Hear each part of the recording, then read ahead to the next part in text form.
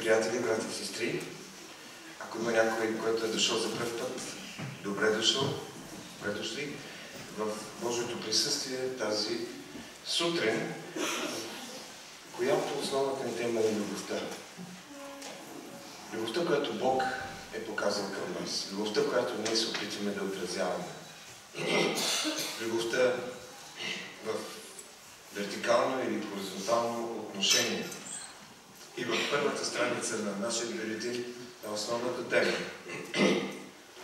Бог показа своята изключителна любов към човека, като даде най-скъпия дар, своя единороден син.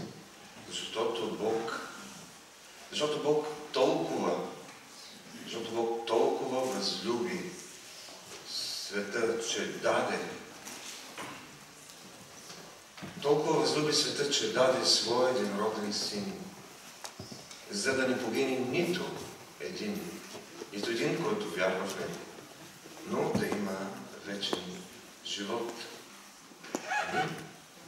И същият Йоанн в твоето първо послание, четвъртата глава, казва, в това се яви Божията любов към нас, че Бог изпрати на света своя единороден син, за да живеем чрез него това се състои любовта. Не, че ние сме възлюбили Бога, а че Той възлюби нас и прати сина си като милостовение за греховете.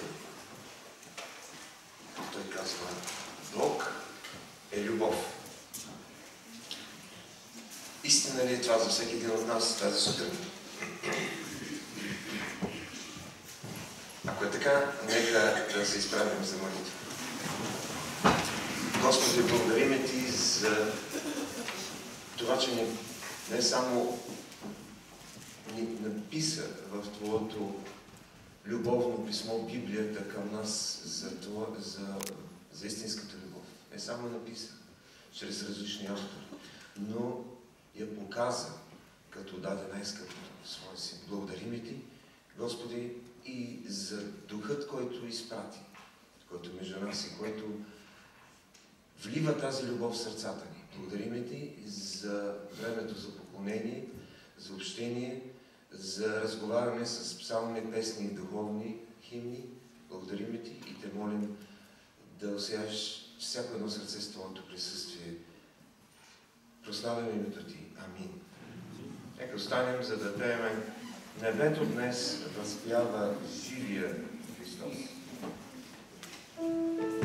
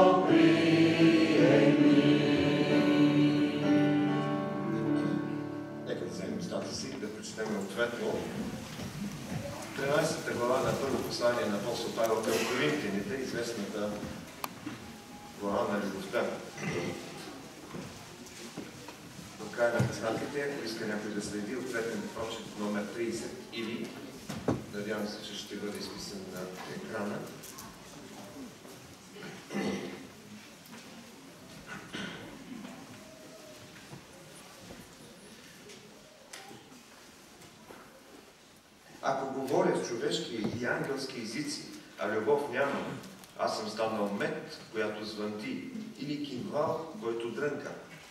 И ако имам пророческа дарба и зная всички тайни и всяко знание, и ако имам толкова силна вяра, така че и понеми да премествам, а любов няма, нищо не съм. И ако раздам всичкия си имот за прехрана на бедните, и ако предам тялото се на изгаряне, а любов няма, никак не ме ползва. Любовта дълго търпи и е милостива. Любовта не завижда. Любовта не се превъзнася. Не се гордее. Не безобразничи, не търси своето, не се раздразнява, не държи сметка за зло. Не се радва на неправдата, а средата заедно с истината. Всичко премълчава, на всичко хваща вяра, на всичко се надява, всичко търпи. Духа никога не отпада, обаче пророчества ли са, ще се прекратят, езици ли са, ще престанат, знание ли ще се прекрати. Защото отчасти знаем и отчасти пророкуваме. Но когато говорите съвършеното,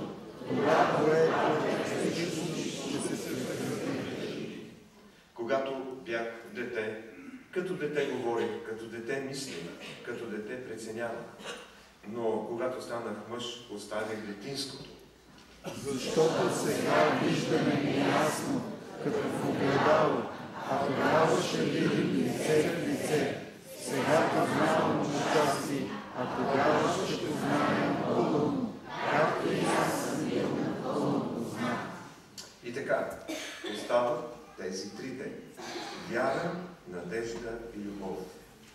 Но най-голямото от тях е любовта. Амин. Бог да ни благослови да имаме такава любов.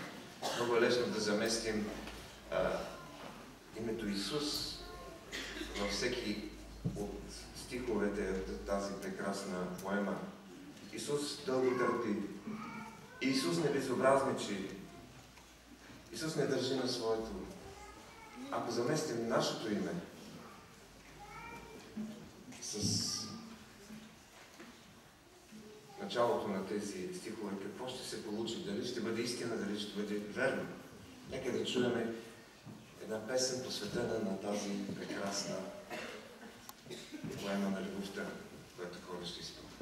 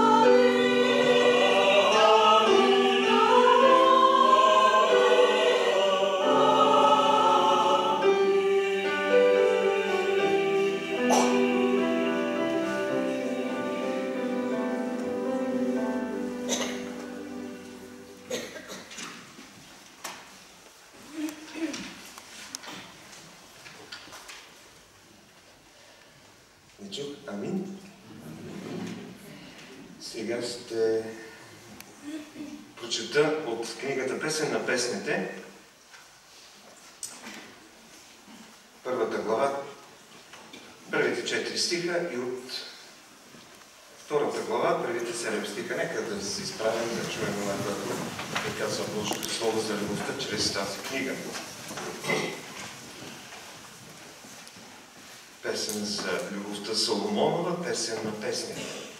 Нека ме целуне с целувките на устата си, защото любовта ти е по-желана от виното. Твоите масла са благоуханни, името ти е ароматно като разлято масло. Затова ти обичат девиците.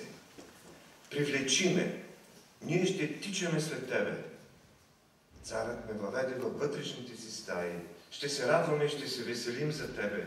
Ще спомняме Твоята любов повече от виното. Справо те обичам. Аз съм Роза Саронова и крем в долината. Както е кремът между тръните, така е любимата ми между дъщерите. Както ябълката между дърветата на градината, така е възлюбеният ми между синовете. Пожелах сянката му и седнах под нея, и плодът му беше сладък в устата ми. Доведе ме в дома на пируването, и знамето му над мене беше любов.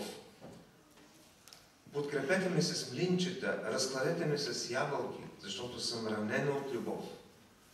Заклевам ви, иерусалимски дъщери, в сърните и в полските елени, да не възбудите и да не събудите любовта ми, преди да пожелая.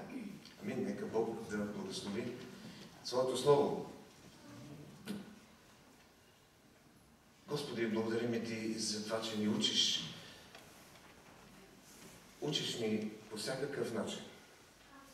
Учиш ни чрез а, обстоятелствата, чрез близките, чрез съвети на богобоизливи хора, но най-вече ни учиш чрез Твоето Слово, което чрез Святия Дух ни разяснява вечните принципи, вечните истини. Благодарим Ти за любовта, която можем да усетим в сърцата си, тъй като сме дошли в Твоето присъствие. Тъй като тази любов не ни е оставила безразлични, а е разпалила една духовна страст, която не може да угасне, но която ние трябва да се грижим наистина да разпалваме всеки ден. Благодарим Ти за събранието, за Църквата Христова, благодарим Ти за общението, за това насърчение един на друг. Но най-вече благодарим Ти за този прекрасен дар, неизразим дар, Господ Исус Христос, без който нямаше да разберем тази истинска любов, агапи любов, всеотдайна, жертвоготовна, посветена. Ние ти молим тази сутрин да ни благословиш в това отношение. Всеки един от нас да, да бъде изпълнен с тази любов, да бъде предадена в нашите взаимоотношения, в семейството, между съпруг и съпруга, между родители и деца, между приятели, брати и сестри, между колеги, съседи, да възлюбим не само Тебе, един неистинен Бог, но да възлюбим и ближния като себе си. Знаем колко е трудно това за някой от нас. Молим Те, излей повече от тази любов чрез Святия Дух. Излей и нека тя да прелива в сърцата ни. И то да бъде видно на лицата ни, на усмивките ни, на отношението ни. Молим Те да благословиш болните, които не са дошли между нас тази сутрин, възрастните хора. Имаме няколко души в старчески домове. Молим Те, благослови ги там, където се намират. Молим се за тези, които се възстановяват като светлинка. Молим се за всички, които, които повават на Тебе, сред тяхните грижи, трудности и проблеми. Благослови младежите, които, които, които са погряни от тази любов, които са Те познали, но които търсят а, в своя живот да намерят подходящ другар, приятел и да живеят в тази любов до края на живота си. Благослови ги изобилно тази сутрин. Сега всички заедно издигаме глас на прослава на Твоето име и глас на молитва с думите, с които си ни научил да казваме. Отче наш, който си на небесата, да се святи името Твое, да бъде царството Твое, да бъде волята Твоя, както на небето, така и на земята. Хлябът наш насъщни, дай го нам днес и прости дълговете наши, както ние прощаваме на нашите длъжници. И не въведете в изкушение, но да нас поправи, защото е Твое царството и силата и славата вовеки. Амин. Амин. А, обикновено казваме децата да отидат на неделно училище. А, искрено а, така си мислим, че ни липсват. Ще ни липсват, защото преди малко ги чухме да пеят силно и да казват тази молитва силно. Бог да ги благослови. Учителките, разбира се. А сега а, ще дадем думата да една група от прекрасни момичета, които искат да ни една песен а, и а, да чуем едно свидетелство. Заповядайте. Заповядайте тук. Отпред има место.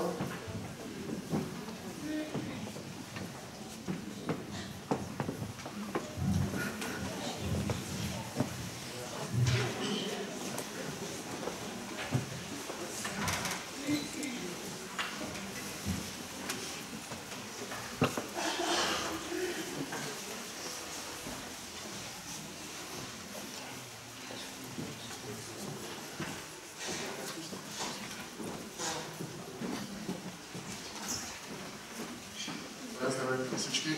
А, Аз се казвам Моран. И то не, че е една група, просто с момичетата, които са тук. А, и аз също сме били на едно място, един център за хора с проблеми с наркотиците. И както пастора каза Божието Слово, наистина без да сме заслужили, Господ а, докосна животите ни, извадени от този свят от наркотици, от лъжа, от измама. А, и реално ни даде желание за живот, за истински живот. И аз малко така, тази сутрин си мислих какво мога да кажа. Едното от нещата беше моето свидетелство, как ме е извадил нали, от, от наркотиците, от този живот. И също в ден днешен това, което живея и искам. А, значи малко моята история, така ще, ще се опитам да бъда на, на кратичко. Преди около 14-15 години а, имах проблеми с наркотиците, взимах хероин. И това всичко малко ме водеше да крада, да лъжа, да живея, както Библията казва, нали, един живот безумен, е, с всичките си последствия около моето семейство, приятели, близки. И, и реално един ден се отвори една врата да мога да отида в Испания, в един център за наркомани, който е на християнска основа, безплатен. И в този център хората си даваха живота за да помагат на други хора. А, аз не исках да се там, беше ми много трудно. Не можех да се понеже нямах финансовата възможност да се тръгна от там. Беше ми доста зле, но благодарение на Бог за това, защото хората ми говориха за Бог. Аз в едно начало не разбирах, не исках, но на едно събрание, там всяка сутрин имаше събрания, Божието присъствие се излява в сърцето. И това беше истинския мотив, новорождението, истинския мотив наистина да има една цел в живота. А, и това е което е реално те подтиква да имаш любов към хората, да имаш почитание към Бога. И, и което реално даде нали, един, един мотив за нов живот. А, от тогава мина доста време. Аз не мога да кажа, че през цялото време съм живял по този начин. Знам, че има моменти, в които е трябвало да се живее по един по-добър начин, по-близко до Бога, по-ревностно. Не сме се умяли. Но ден днешен това, което по някакъв начин е останало в сърцата ни и се стремиме към него, поне аз и искам така да бъде, е, е това слово, от което Господ ни е нагородил, нали, да, да пребъдва. И иска само един стихове да прочета.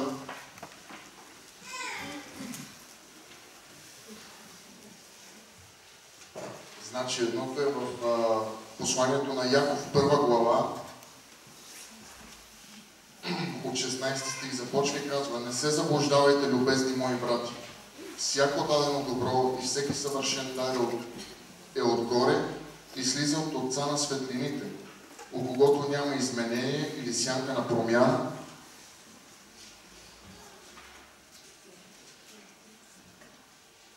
и от собствената си воля ни е родил чрез Словото на истината, за да бъдем един вид пръв плод на Неговите създания. И този 18 стих, който казва, от собствената си воля ни е родил чрез Словото на истината. И, и това е за което говорих, нали? Аз специално не искам да наблягам на това, но, но наистина в наркотиците, в живот, без спирачки, в кражби, в лъжи, наистина Господ си протегна там ръката. Аз не направих много. И, и когато Неговото Слово дойде, Неговия свят тук се разля, запечата това и донесе наистина страхопочитание в сърцето. И до ден днешен, ето това, което пише тук, от собствената си воля ни е родил чрез Словото на истината. И, и аз мисля, че всеки един от нас, но аз говоря се пак за себе си, а, сме познали, че Исус Христос е истината, че Библията е истината и от това сме родени. И един друг стих, който исках да кажа, аз тази ще така малко а, в смисъл гледах за тези стихове за ден днешно състоянието на моят живот и на моето сърце. И това, което в сърцето си имаме като нужда и което и Библията ни учи. Това идва в Ефесяните 3 глава.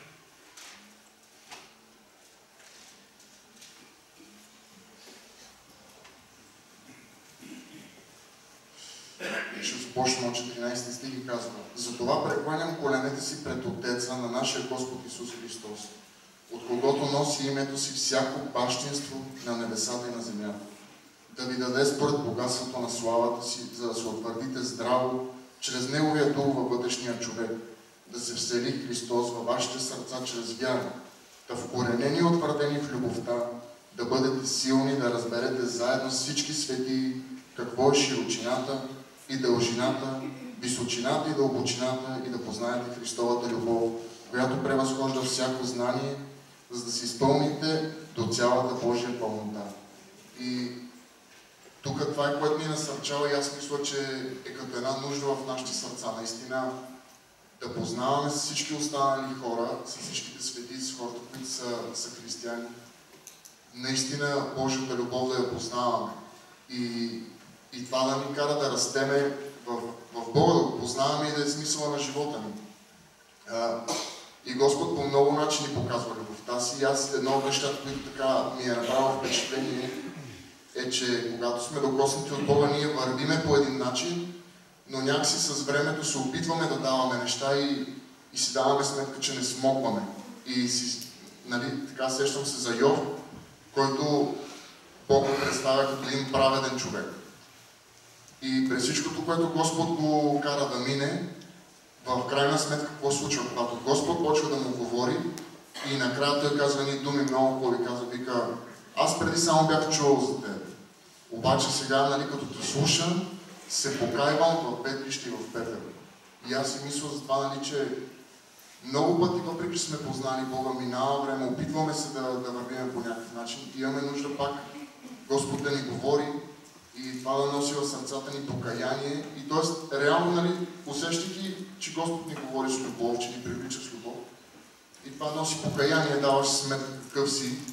И наистина, че само Господ с любовта, с любовта си те, те привлича по някакъв начин. И това е, благодариме и сега тук групата ще пее.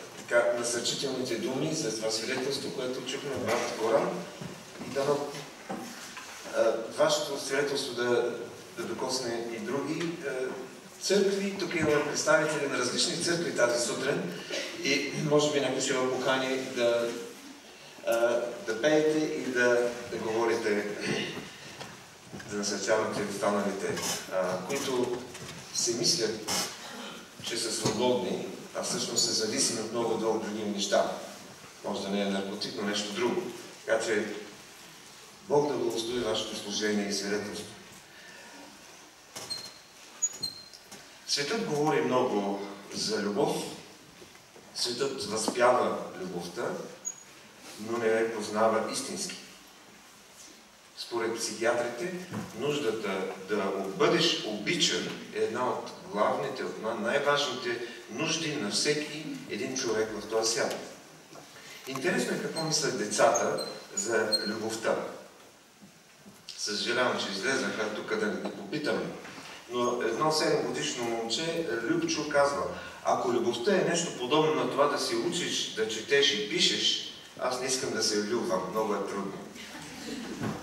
Боби на 8 години казва, любовта ще ви намери, дори ако се опитвате да се скриете от нея. Аз съм се опитвал да се крия от нея, докато бях на 6 годинки, но момичетата все ми намириха. Много интересни неща могат да кажат децата за любовта. Интересно е ние като възрастни да сме наясно за любовта, но още по-важно е да следваме съвършенната любов на Бога. Когато на вертикално ниво приемем тази съвършенна любов, тогава бихме го направили и на хоризонтално, много по-лесно. Любовта е термометърът, който показва, може да измери твоята и моята духовна температура. Любовта е този термометър. Апостол Павел беше апостол на вяра. Апостол Яков – апостол на делата. Апостол Петър е апостол на осъждението. Апостол Йоан е апостолът на любовта в Новия Завет. В Стария Завет пък Соломон е поетът на любовта. В трета книга на царете, четвърта глава, се казва, че Соломон е изрекал 3000 поговорки и песните му са били 1005 на брой. Вижте колко е прецизно Божието Слово. Написал 1005 песни. Това не е просто една закръглена цифра нещо прецизно. И аз си мисля, че в а, книгата Песен на песните, която може да се раздели на пет по-малки песни, съставни песни, а, се намират тези пет липсващи хилядата, не знаем кои са. Ако съберем всичките стихове на притчи и клисиатори, няма да са толкова, но знаем поне, че поне петте са в тази а, интересна книга. А, някои наричат Песен на песните книгата на малките библейски химни. Тя е една поема. Нейното тълкование, а не боговдъхновеността й е, са проблем е, за много от християните. Също така Песен на песните е най-пренебрегваната книга в Библията. Колко пъти сте чували проповед върху тази тема?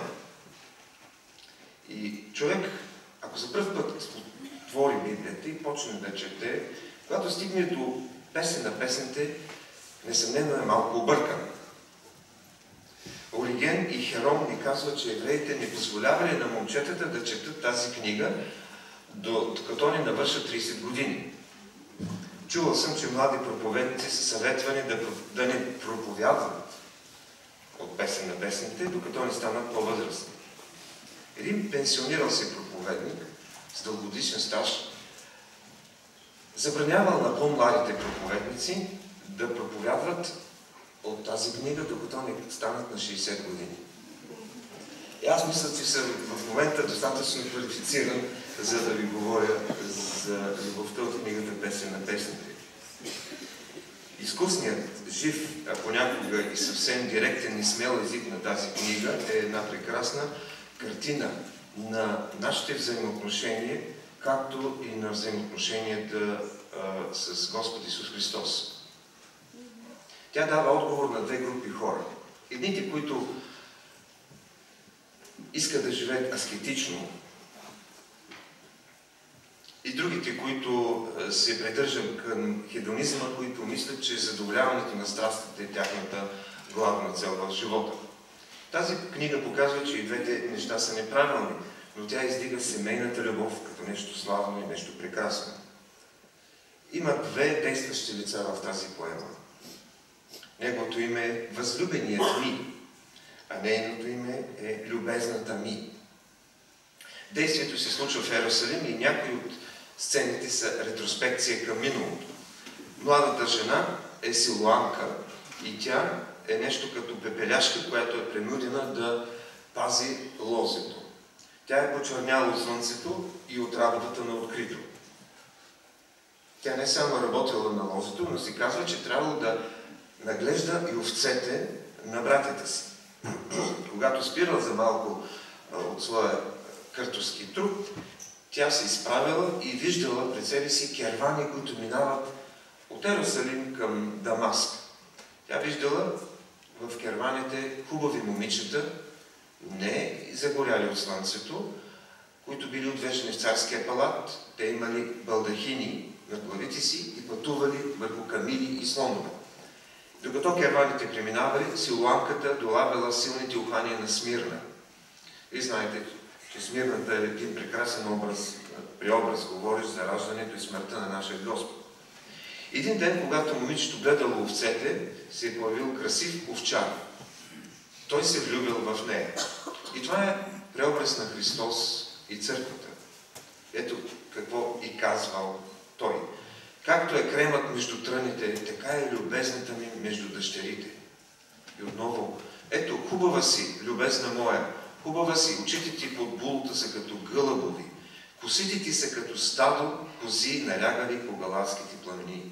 Няма да чета нататък. Това е един прекрасен поетичен език.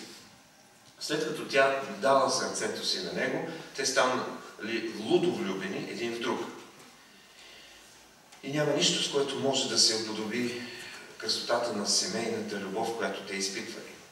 Възлюбеният ми е мой и аз негова. Пасе стадото си между кремовете. Една чудесна интимна връзка. Тогава един ден той е обявил, че отива надалеч.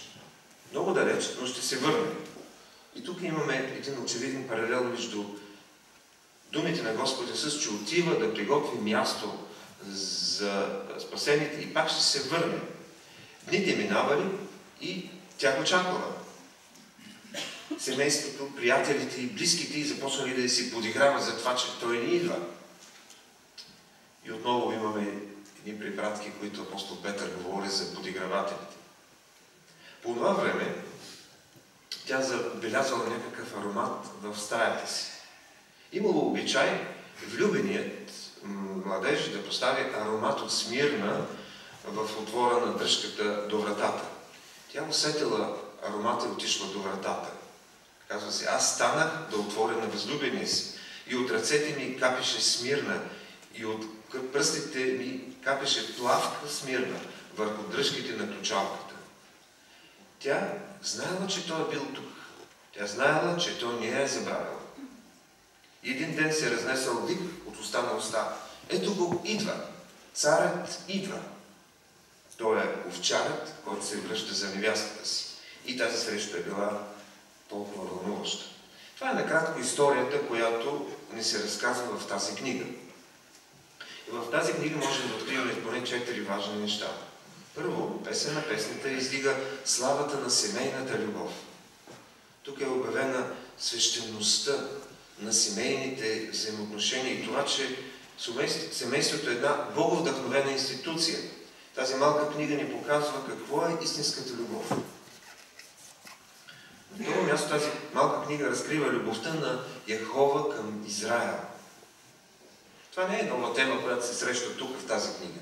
Тя е постоянна тема в целия Стар Завет. Пророците са говорили за Израел като съпруга на Яхова. Осия, пророк Осия пише много на тази тема. Идолопоклонството в Израел е оприлечено на нарушаване на обед, даден пред семейния алтар. И това според пророк Осия е най-големият грях на света. Книжниците и равините се предлагали само тези две тълкования на книгата и те са били приети по-късно от църквата, но те добавят и още две тълкования, които са предложени. Песен на песните е картина на Христос и църквата. Църквата е невяста Христова. Затова говори апостол Павел в Ефесяни 5 глава и в Откровение 21 глава. Апостол Ян говори също така. Но в тази книга Бог изпитва, използва човешки чувства, за да обясни на нашите закоровели умове, на обърканите ни, ни представи за чувства, своята велика любов. Той използва най-прекрасното от човешката любов, за да ни помогне да осъзнаем огромната любов, която и той изпитва към нас. И също така тази книга описва общението между Христос и отделният вярващ. Не само общо, между църквата и Христос, но и между отделният вярващ. Апостол Павел може да възкликне, огран от Божията любов. Божият син, който ме възлюби и предаде себе си за мене. Много мъже и жени на вярата са изпитвали това лично взаимоотношение, това лично общение, тази лична връзка с Исус Христос. Христос. И да отворим тази малка книга тази сутрин за нас, ще е като момента, когато Мария разчупи алавастрения съд, от който се изля едно прекрасно, благоханно миро. И тя го изля върху нозете на Исус. И когато ние четем за Божията любов, това изпълва живота ни с едно небесно ухание и ще се разпространи и върху околните. Днес хората си мислят, че за да си християнин, за да живееш като християнин, е достатъчно да следваш дадени инструкции. Библията говори за някои неща, има и устав, църквата има устав. Трябва да подредиш само нещата. Като да следваш инструкциите, сглобяваш една малка къщичка за децата или някаква друга играчка или камионче и ти се казва да вземеш част А, да сложиш в част Б, след това останалите неща да направиш опътвания, които за много хора са много сложни. Ами този християнски живот е много сложен. Как да го живеем? Мисля, че трябва да вземеш малко философия, малко психология, да смесиш някои съвети, които хората ти дават, добри съвети, да научиш Библията няколко стиха и като едно западно покритие отгоре и всичко това става една съвършена рецепта за християнски живот. Това, от което се нуждаем, е именно това, което ни, ни се казва в тази книга. Личната, интимна връзка с Господ Исус Христос. Да имаме този изгарящ купнеж за Него. Едва ли Господ е доволен от студеното, от кладкото отношение, което много християни имат. И те се те се виждат, че са студени като лед. Някои дори са неприятелски настроени към други християни в държанието си. Трябва да имаме тази изгаряща връзка, страст към Господ Исус Христос. Нека да спра нашето внимание само върху първите четири стиха и най-вече върху вторият и четвъртият. За някои тази е, поема може да звучи като народна песен, народна любовна песен или опер, оперен мотив. Знаете, в повечето народни песни е, се говори за любовта, в повечето опери или оперети се говори за успешна или неуспешна любов. Но това е нещо повече. Книгата наистина създава впечатление, че отхвърля аскетизма но пък заклеймява похота и неверността към брачната клетва. Това не е една симфонина опера. Не е някаква ефтина пиеса, в която героят е свръхчувствен, а героинята е еротично предизвикателна. Напротив, това е една прекрасна песен, възпяваща семейната любов. И точно в тези няколко стиха откриваме невястата и младоженеца заедно в прекрасно общение. Първо откриваме неговата целувка. Втори стих си казва, нека ме целуне с целувките на устата си, защото любовта ти е по-желателна, по-желана от виното. Целувката по това време била а, израз на клетва за знак за мир. Самото име на Соломон означава мир. Той беше цар на мира и управляваше Ерусалим, който пък е град на мира. Силуанката е дъщеря на мира. Вижте как не случайно са свързани нещата.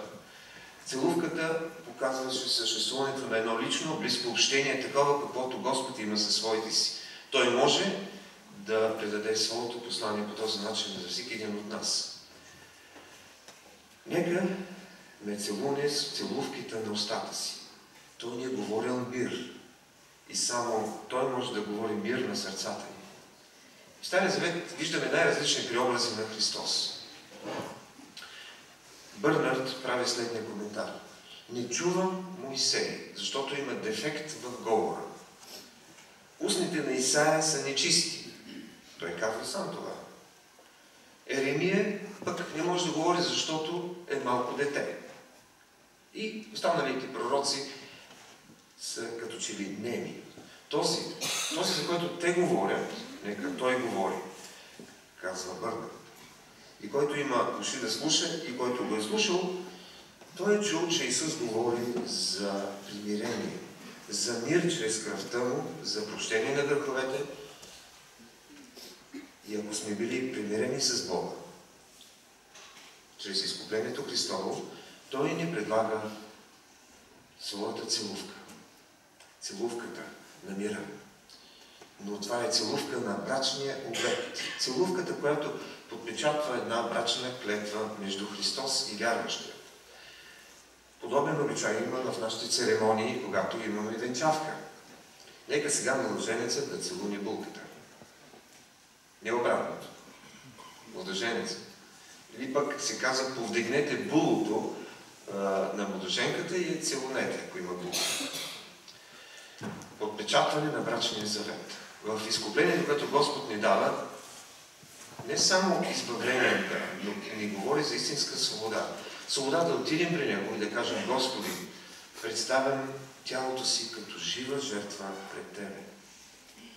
Да се посветим на това лично взаимоотношение, да израстваме в Него, взаимоотношение с Исус Христос.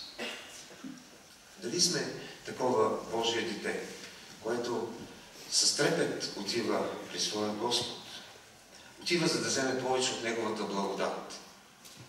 В Ефесяния се казва, че Той е богат в милост и благодат. И Той желая да я сподели своето богатство в слава заедно с нас.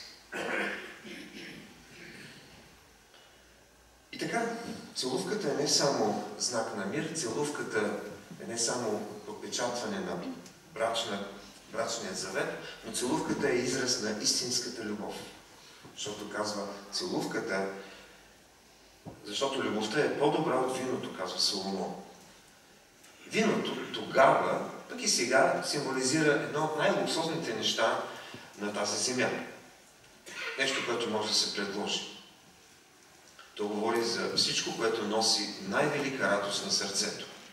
Но апостол Павел казва, внимавайте с виното. Не се отивайте следствието, от което е разврат, но изпълвайте се с духа. Трябва да бъдем изпълнени със Святия Дух, за да можем да преживеем това вълнение, он е възторг, он е екстаз от това да принадлежим на Христос, да имаме лично взаимоотношение с Него.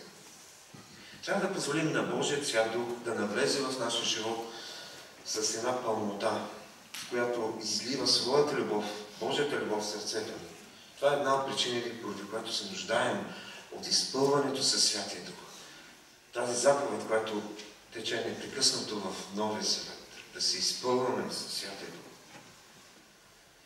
Християнският живот е една любовна авантюра. Ние обичаме Бога, защото първо Той възлюби нас. Той ни обичаше достатъчно много, че да даде себе си за нас. И сега Той ни казва, искам любовта ти. Ако не го обичаме, не трябва да продължаваме да се приструваме.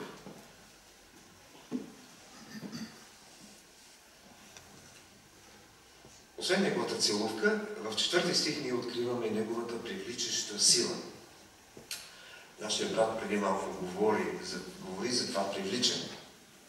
Там си казва, привлечи ме, ние ще тичаме след тебе. Царят ме, въвежда във вътрешните си стаи. Ще се радваме и ще се веселим за тебе. Ще спомняме твоята любов повече от, от виното. С право те обичам. Това е един прекрасен текст от Божието Слово. Изразява чувствата на човек, който е влюбен в Бога и купне за по-близко общение с Него. И тогава осъзнаваме, че не можем да постигнем тази любов в пълнота, в това общение. Не можем да го постигнем, защото е твърде високо за нас. И затова ние казваме от тази ниска позиция, привлечиме Господи. Какво означава за теб и за мен Исус. Ако някой съзнава дълбоко в сърцето си, че никога не е изпитвал това прекрасно общение, тогава нека да се слуша в думите на невястата и нека да каже заедно с нас тази сутрин, Господи, привлечи ме, позволи ми да издигниме, да отида в Твоите покои, където Ти не би ти можеш да, да ме благословиш. Господи, аз не мога сам да стигна при Тебе. Признавам, че не мога да се издигна на Твоето ниво. Затова привлечи ме. Бог ни казва, че Неговата сила е на наше разположение. Че, че Неговата сила е съвършена в нашата слабост. Тогава Той ще отговори на сърцето ни. Привлечи ме, Господи. В това да си в присъствието на Христос привлечен от Божия Дух, се крие нещо вълнуващо. Никой не може да дойде при, отец, при мене, ако не го привлече Отец, казва Йоан в 6 глава 44 Ние не търсихме Бога, Той търсеше нас. И днес Той пак ни търси, но има една наша отговорност. Да казваме, Господи, привлечи ме. Имам нужда от Теб. И ето как завършва тази е, интересна книга. Бързай, възлюбени мои. 8 глава, 14 И бъди като сърце, бъди като сърне или еленче върху планините на ароматите. Невястата казва на господаря на лозето. Бързай, върни се. Какво ви приличат тези думи? Книгата Откровение. Така завършва. Амин. Дойди Господи Исусе. Скъпи брати, сестри и приятели, не можем честно да изречем това, ако не познаваме Господа, ако не го обичаме, ако не, правим, не го правим познат не само на себе си, но и на другите около нас. Тогава може да кажем, ела, Господи Исусе. Апостол Павел казва, че Бог ще даде корони, венци на тези, които са възлюбили Неговото явление, Неговото пришествие. А да възлюбиш Неговото явление означава да обичаш Него самия, така както една невяста с нетърпение очаква и се подготвя за идването на своя младоженец, нейният любим. Истинската, спасителната вяра се поддържа и се увеличава от любовта. Тази любов, която по един романтичен начин ни се разкрива в тази прекрасна песен, нека Бог да ни благослови и само да приемаме, да, но да предаваме тази любов в нашите взаимоотношения на всяко ниво. Той да ни благослови, да ни изпълни чрез нея. Амин. Спасителю, нуждаем се от Твоето привличане.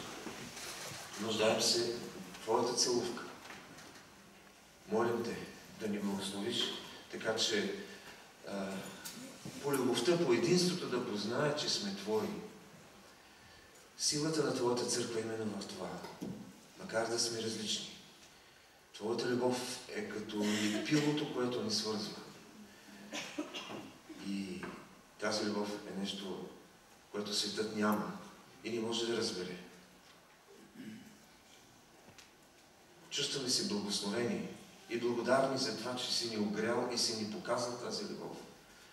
И нека тя не остане само между нас, а да бъде изявена по Твоята воля, по един прекрасен начин, с хората, които ни срещаш, днеска или утре, или други ден, да бъде слава на името Ти. Амин.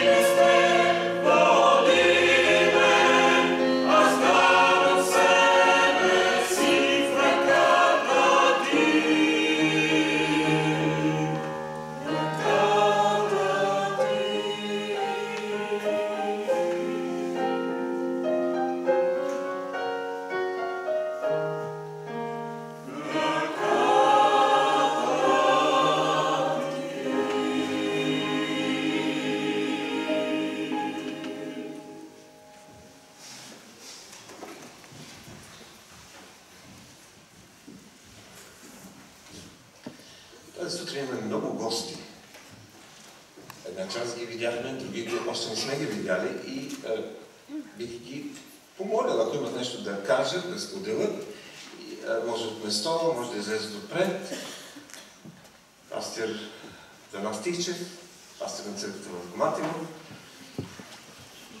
дякон, брат, доктор Даниил Николов. Има ли други гости, които да не пропусна? А, а, проповедникът, а, нашия скъп брат Наско, Толов.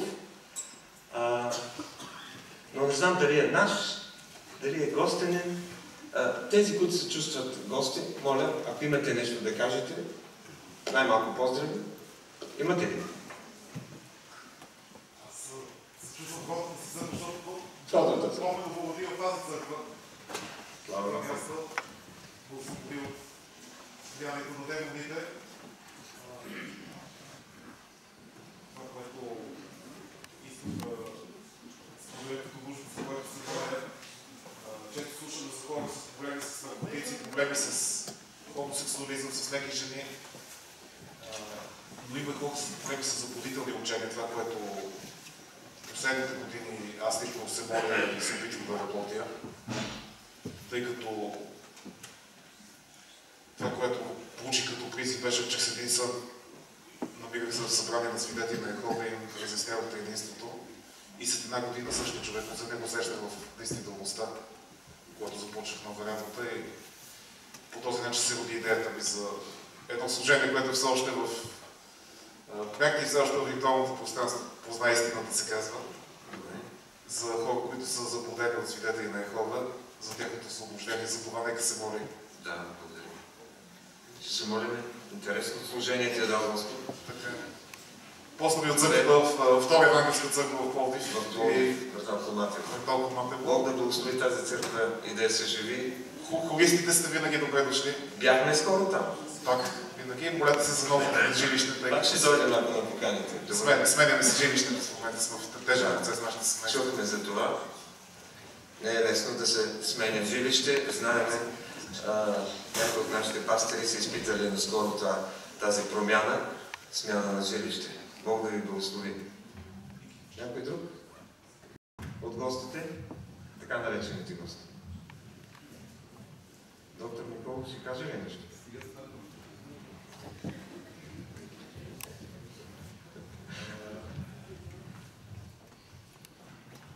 Ами, всичките му братя на вашия пастор са тук на гости по случай един много специален случай. Горе-долу празнувахме вчера половината му живот. Според Библия 6.3, така. Но е каза само 120 години, не повече. Е тук, но... Така че се радвам, че по такъв повод мога да бъда и между вас. Съжалявам, че закъснях.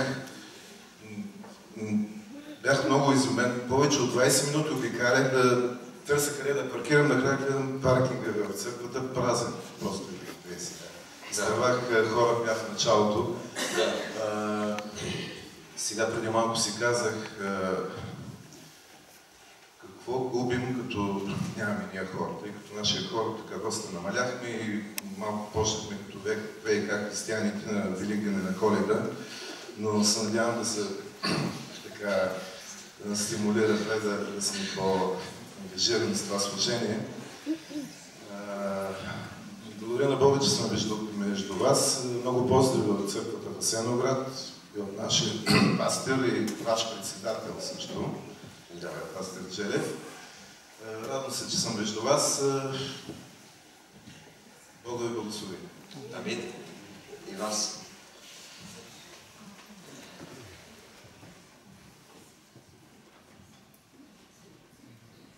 Друг някой? Ако не, ще продължим още малко нататък. Една така обявена част за богослуженията. Вечерта от 18 часа всеки от вас е поканен на втората, второто богослужение, което ще говорим за сигналите, които даваме на новодошлите в църквата. Сигналите, които даваме на новодошлите в църквата. В вторник, четвъртък, вторник, сряда четвъртък има библейски групи по установен график, който може да видите. Сряда събранието на сестрите от 16.30, в молитвеното събрание, което е много важно, от 18 часа. Книжарниците в библиотеката веднага работят след богослужението, може да се намерят интересни книги или да намерите интересни неща и място за събеседване и в кафе книжарницата. Утре, а, 13 от 19 часа Духовния свет има своето заседание. Духовния съвет. Не знам друго дали има като съобщение, освен, че пастор Станислав Алексиев искаше думата, не знам защо. Как сме? и да говоря, ама както казах, по нашия край стана белни. Разбрахте, че вчера нашия пастир Благовест Николов е навършил 60 години, той затова се чувства и квалифициран да проповядва книгата Песен на тези да. Тук сме ти подготвили един малък подарък, ще слезеш да си го все пак.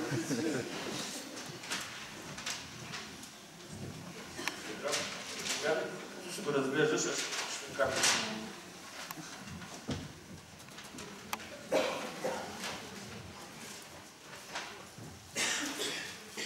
Уния, които оплувават на Господа, са като хълма Сион, който не може да се а до века остава. Честит юбилей, нека Божията благодат те укрепява, Неговия дух да те води с мъдрост и истина, да продължаваш да ореш, да сееш, да поливаш твърдата почва на духовната нива. Веднъж помоля църквата да се изправи. Святи Боже, благодарим Ти, че можем, Господи, да се познаваме един друг, че си ни подарил един на друг. Благодарим Ти за брат Благовест. Те моля да го пазиш и укрепяваш дълго още, да ни служи и да служи на Тебе. Да бъде се така добър и благ, както е името му. Моля Ти, Господи, да му даваш дразновение да говори Твоето Слово и да служи на Твоето Слово. Моля Те да, да продължаваш да го, да, да правиш такъв пример на нас в молитва, в служение и в, и в хваление. Благослови го, молим Те, в името на Господ Исус. Амин. Сега се чуда, защо пастир Количев преди време, когато празнувахме, пак така на кръглогодишни, да казваше, чувствам се по-почетен, когато ставам така възраст, Остъпвах ми място в трамвая и разни други неща. Аз се чувствам днес близо до този начин. Така много се почетен, много ви благодаря, Господ да ви благослови.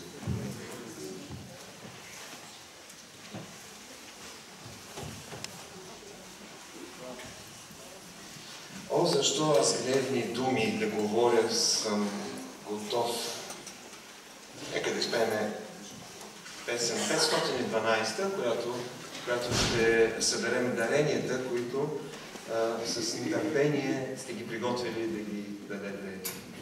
Благодарност, разбира се, пред Бога за това, което ни дава, да споделяме за Неговото дело.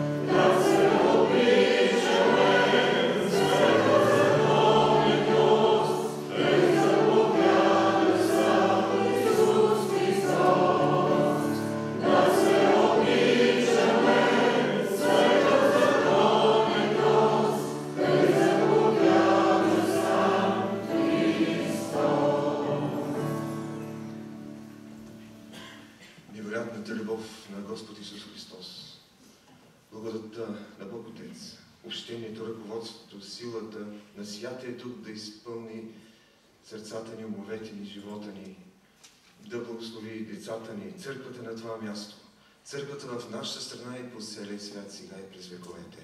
Амин. Амин.